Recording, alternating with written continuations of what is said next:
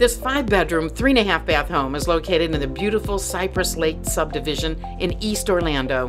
The living room dining room combination is a great place to entertain. The kitchen has a huge eating space overlooking the rear of the home. Enjoy quiet evenings on the back patio. The resort style community has a pool with a water slide, a clubhouse, tennis courts, and walking trails. Make an appointment with Maurince Pierre to view this home.